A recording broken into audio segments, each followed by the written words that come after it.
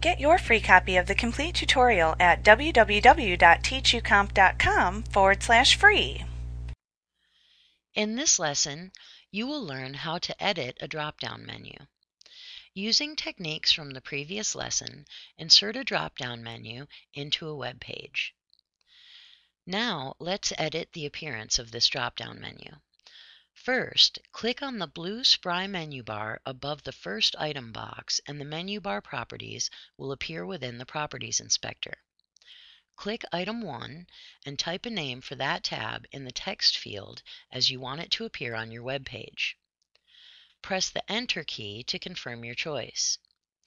The name you have chosen will now appear both in the Spry menu as well as within the Properties Inspector. Next, click on item 1.1 to name the first submenu tab. Enter the appropriate name for this tab in the text field and then hit the Enter key. You can repeat these steps for all of the other tabs within your Spry drop-down menu. If you'd like to add or subtract an item, use the corresponding plus or minus button above its particular menu. To move an item up or down the list, use the corresponding small black triangle to make adjustments. It's also possible to make an item or sub-item serve as a hyperlink. To do this, click on the menu item that's going to be a link, and then type the URL into the link field in the Properties Inspector, then press the Enter key. If you want to link to a different page within the same website, you can just click the small folder icon to the right of the link text field in the Properties Inspector and navigate to find the page in your local root folder and then click to select it. You can also edit the font type, colors, and other associated features of your menu by editing the corresponding CSS rules using the CSS panel.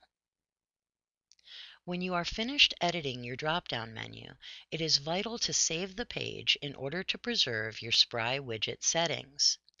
Choose Save from the File drop-down menu found in the menu bar. Your page will be saved with your new Spry settings, and Dreamweaver will automatically create the necessary files which enable your drop-down menu to function.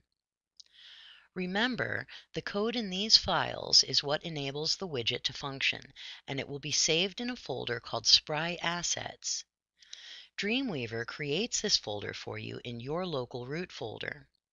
For the drop-down menu to work, this folder must be uploaded to your hosting server along with the rest of your website.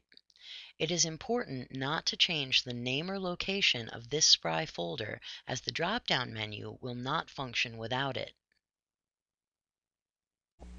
Like what you see? Pick up your free copy of the complete tutorial at www.teachucomp.com forward slash free.